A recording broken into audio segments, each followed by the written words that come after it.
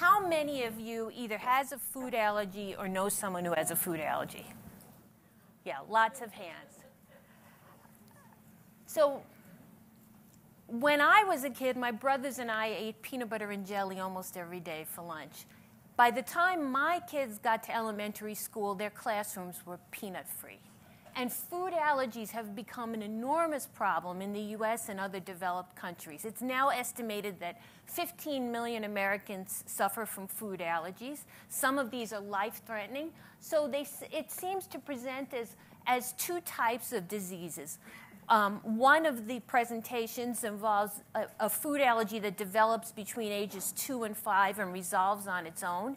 And the other is a lifelong, life threatening allergic response to food that can send someone to the emergency room uh, every three minutes in the US. So we now have two children in every classroom with food allergies. How do we account for this kind of change in just a generation? So that, that's the question that we're trying to tackle. And our hypothesis is that it's due to changes in what we call the microbiota. That is, all of the bacteria that live uh, in and on our bodies. So, in the video, you might remember I mentioned that we are 99% microbial. There are trillions of bacteria living in our intestines that are as yet very poorly understood and control many physiological processes and have a particular impact on the development and function of the immune system. So uh, we're suggesting that what's happened, this, what's caused this generational change, is lifestyle practices that have changed the composition of these bacteria. So what are some of these? They're depicted here. The biggest offender by far is antibiotic use. It's estimated that children in the United States have six courses of antibiotics before they're two years old most of them for viral infections for which antibiotics serve no purpose. We also have extensive exposure to antibiotics subclinically. So you may not know that for 50 years, um, uh, farmers have, have had a practice where they've given their livestock subclinical doses of antibiotics because they knew that that made the livestock fatter and, and more valuable. And um, some have suggested that we've done that same experiment to ourselves and that that's what's driving the epidemic of obesity in this country. So I should mention that we study particularly food allergy, but food allergy is appearing as part of a constellation of diseases that are sometimes called the diseases of Western lifestyle. And they include inflammatory bowel disease, obesity, food allergy, diabetes, autism, asthma, all of which are increasing in parallel. Another major offender is diet. So we've co evolved with our microbiota over millennia. And as we've heard a little bit about, um, the, our ancestors were not consuming McDonald's. So the diet has changed, and our bacteria eat what we eat. And their food source has changed in a way that's changed them seemingly for, for the worse. We've also eliminated previously common enteropathogens.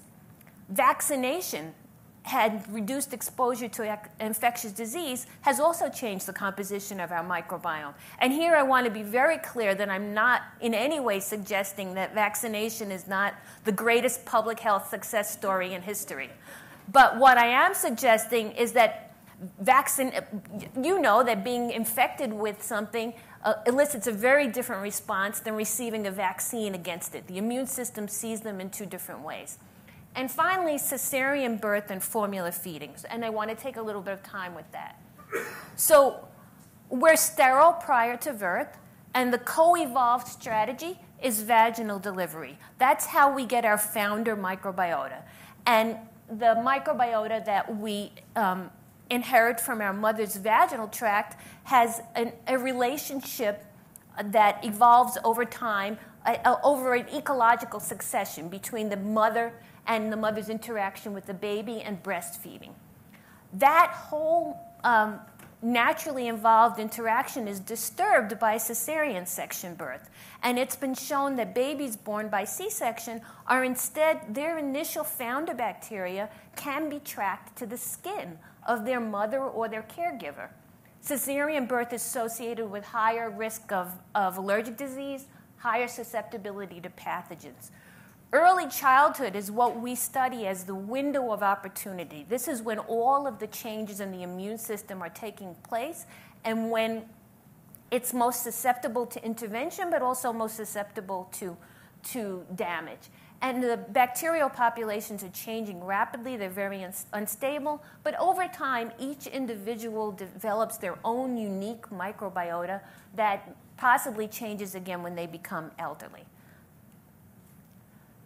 Um, our, the bacteria that live in our gut have a, also a very important role in digesting our food. So many of the common dietary fibers that we ingest are, in fact, insoluble to us without help from these bacteria that ferment them into products that are essential for our, our health.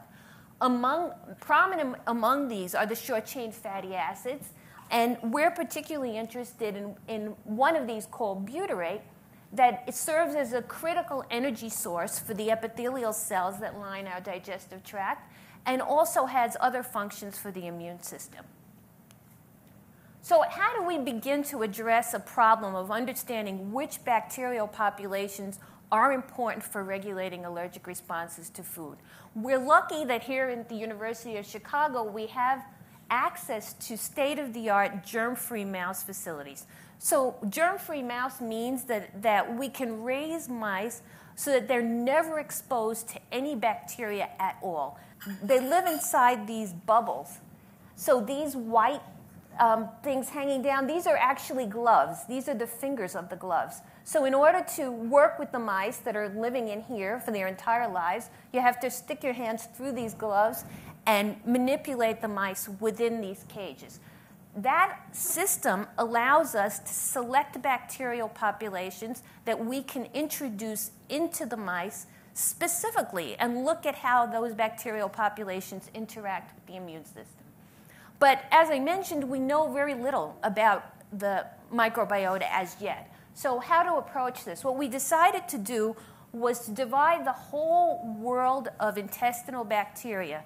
And these are thousands of different species, many of which are obligate anaerobes. That means that they can't grow when they're exposed to oxygen. So they can't be cultured in, in test tubes. And we know them mostly by their genetic information, by their sequences. So, what we decided to do was to compare the, so this is a depiction of the epithelial surface, to compare the bacteria that live in association with the mucus layer to bacteria that are free floating with the digestive food and see if we could get some insight into which of those populations might be important. And in the course of those studies, we did identify a particular population of mucosa associated bacteria called the Clostridia that protected against um, allergic sensitization to food. And what we found that it does is that it regulates the function of the epithelial lining that of our digestive tract in a way that increases the production of mucus and increases the production of natural antibiotics, antimicrobial peptides, so it has a barrier protective effect. So then we wanted to apply this to the development of novel therapeutics to prevent or treat food allergy. So to begin to do that, we collaborated with a group in Italy that had done a, a large scale study examining dietary management of children with cow's milk allergy. And what our collaborator did was to compare. So these are children that come into his clinic with cow's milk allergy, and he put them onto different formulas to see what was most effective at managing their disease. And what he found was that when he gave them a formula that was supplemented with a conventional probiotic, Lactobacillus GG, so this is the probiotic bacteria that's present uh, all through whole foods or the, and that is contained in, in yogurt, um, he found that those children had a greater rate of acquisition of tolerance to cow's milk after 12 months of treatment. So he gave us fecal samples from children that received this diet and also that received a diet without LGG.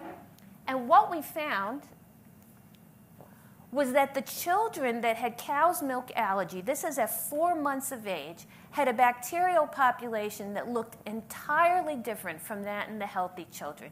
It had more diversity. It looked like the bacterial population of adults, as if it had gone through its maturation in, at warp speed.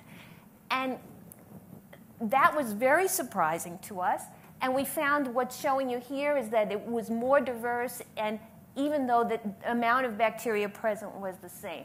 And particularly, what we noticed when we compared samples before and after treatment is that the children that received the formula that was associated with the acquisition of tolerance had high levels of butyric acid, that short chain fatty acid that I told you was important for intestinal health, that's produced by the fermentation of dietary fiber.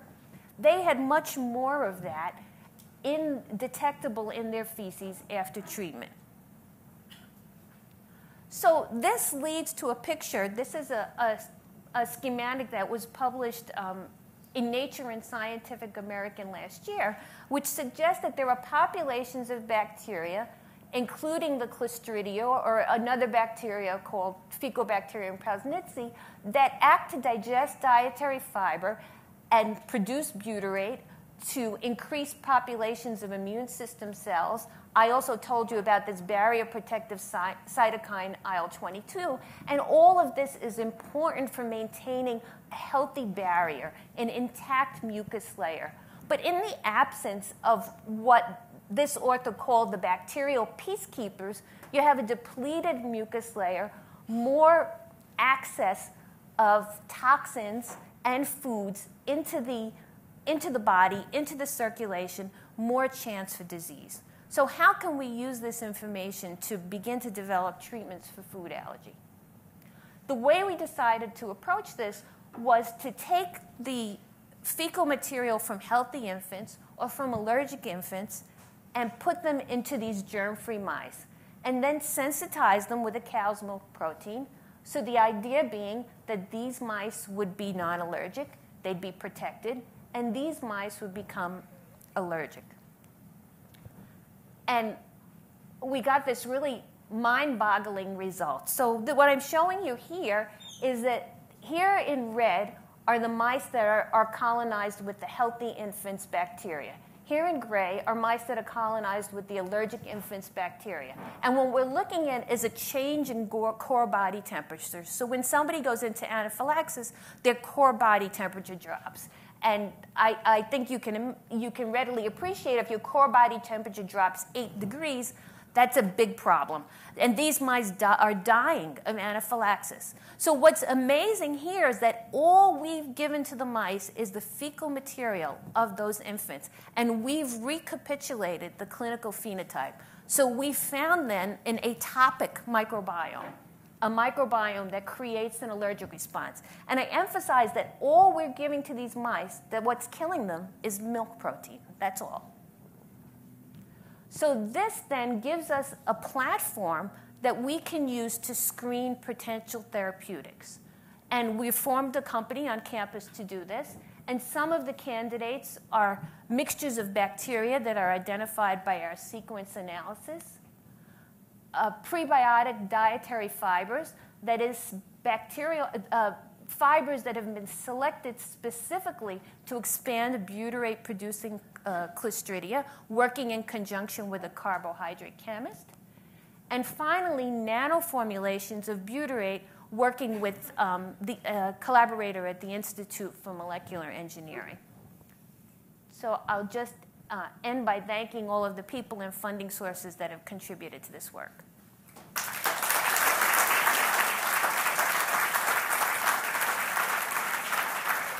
Is Please. a long range potential use of what you did with the mice applicable to newborns who are born by cesarean section as a way of preventing them from getting allergy? Uh, so, uh, one strat- particular strategy that other people are pursuing, uh, not us, is to actually take vaginal swabs from mothers of cesarean babies and use those use that to, to inoculate the, the inoculate the baby's mouth as, as they might have been had they been delivered vaginally. Because our, the children that are coming into our study have already got this altered microbiota at four months of age. It's already too late. So it, um, that's one approach that other groups are taking to address that issue. Are there any results from that? A very small study so far shows that, that it has some efficacy in colonizing those babies with the vaginal microbiota, but it's a very small scale so far. Thank you.